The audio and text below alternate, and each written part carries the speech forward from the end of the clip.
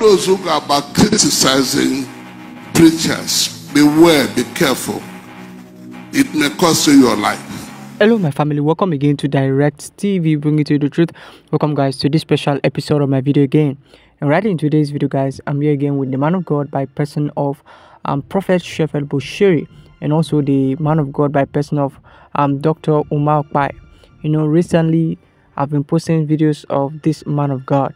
All right, but um, there is something that I like saying in my channel, which um, you know, I preach it a lot. All right, concerning the fact that you shouldn't put yourself or you shouldn't be part of those who criticize men of God because it is very very wrong all right and this man of God um Dr. Uma is going to be talking on the dangers why you shouldn't um, try it because it might cost you your life this is very important and this is a great message for each and everyone to listen to all right immediately after that I'll be right back with the man of God by person of Prophet Shepherd Bushiri that will be sharing with us his experience and what he saw in Uganda so before we dive into the video, for those of you coming very new to my channel, kindly the subscribe button, subscribe. And if you haven't liked the video, please hit the like button, like today's video, guys. Watch this, I'll be right back. All those who about criticizing preachers, beware, be careful. It may cost you your life. We don't just gather because the pastor is looking for money to the average Igbo man, oh, they're looking for money. They're looking. A young man in my village used to say to me, Oma, every time you sing to Araya Mighty, because the treasurer told you good money has come in. I said to him, my brother, what we're doing may look stupid, but God is interested in it. Take it easy. Or else God will punish you. Ah, this God will not show interest. He left for Canada. You know, and lost his memory in Canada. Removed his trousers, his shirts, and walked into the city of Canada with no one helping him, with no dress, with no trousers, with no shirt. And arrested him for coming into that town naked as I speak, is dead. All those who are about criticizing preachers, beware, be careful. It may cost you your life.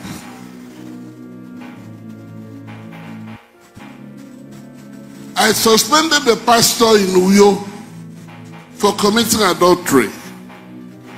Do you know he went home and hired 11 armed robbers to come after me? When they called me and said they were coming to deal with me, I asked them to come quickly so that we can finish the business of the night and go to bed. They said, we are not preachers, we are armed robber. My friend, stop. My father had an armed robber who was our neighbor. He didn't stop us from having good breakfast. Come. I'm waiting for you. They arrived. What people don't know is to the man who is a man of God, God sits at the door of his house to receive his enemies.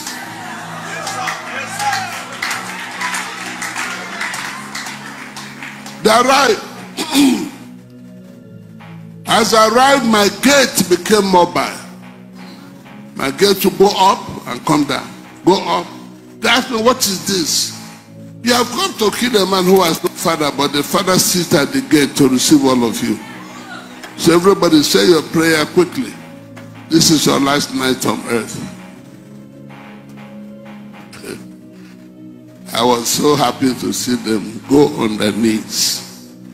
All right, my family, there you have it with um, Dr. Uma Ukpai as he shares that amazing testimony all right you can imagine that and if you listen to many of the testimony of this man each and every one that have come to kill him they will end up giving their life to christ All right, what an amazing testimony. Several times they have tried killing him, but he keeps waxing stronger and coming out victorious, guys. So I'd like you to go out and, and also search for his messages and listen to. They will inspire you a lot. His testimonies, they will inspire you so much, guys. So I'd like you to listen to um, you know, um what the man of God, Prophet Shepherd Bushiri, is gonna be saying about Uganda when he went to Uganda. You're gonna be amazed what he really saw there. All right. It, it, also dawned on us as Christians that we should pray.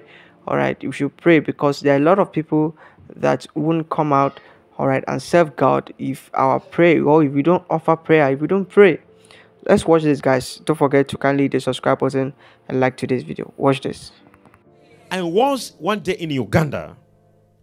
I was in Uganda one time.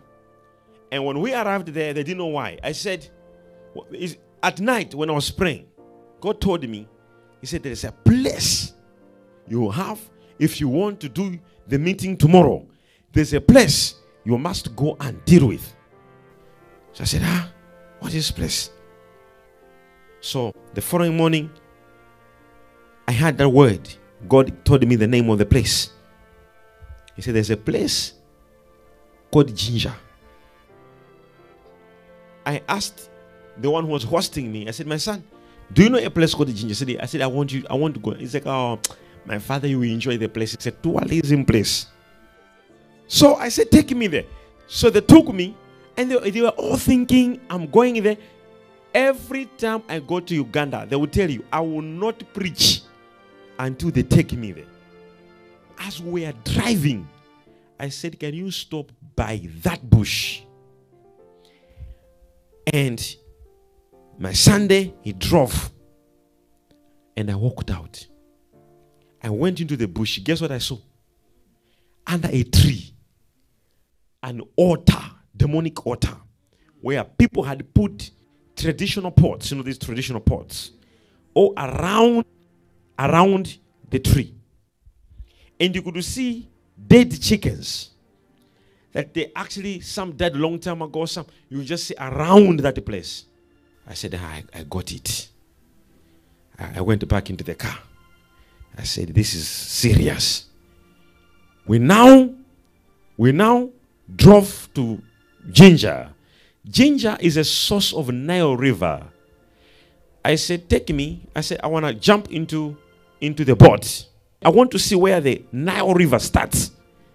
So as they were taking me on the boat, I said, move along along the, the river.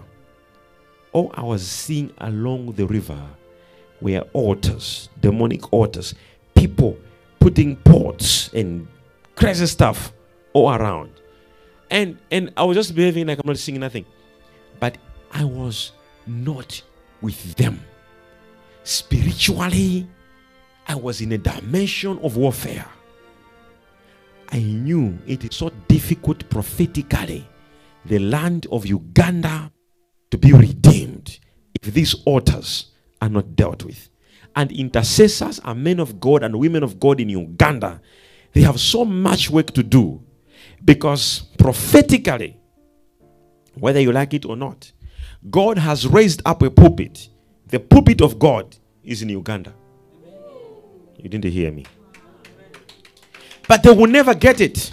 And it will, trust you me, until these altars are broken. As much as it is, Uganda was supposed to be a headquarters of the glory of God. But the altars of the land, the land is polluted. And needs intercessors, men of God, women of God, to pray and fight. But they will never. Because the enemy has gone in and, and, and took over a lot of men of God and made them to start fighting each other. So now it's the battle of the church. So I'm like, so I'm, I'm moving there, and, and they, move, they are moving me. And I'm like, oh, this is crazy. I could sense warfare, altars of the land. You must make sure you deal with altars of you were not there in New York when New York was being established. Alright, my family, there you have it with the man of God by person of Prophet Shepherd Bushiri.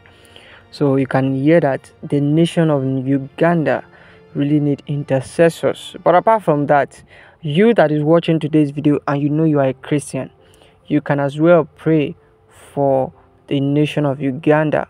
Remember, that is what the, the scripture instructs in First Timothy chapter 2 from verse 1. Says, I exhort therefore that that's the first thing you should do. That first of all, prayers and supplication should be made for all men, you see, including everybody.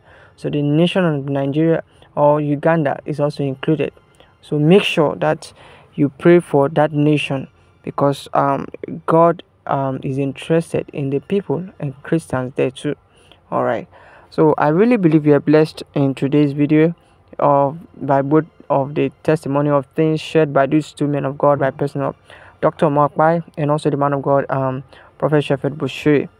And I'd love to um, hear what has blessed you in the comment section. So kindly um, comment and tell me what has blessed you. And also don't forget, if this is your first time my channel, just kindly hit the subscribe button, subscribe to this channel. And if you have not liked the video up to this point, please hit the like button, like today's video guys.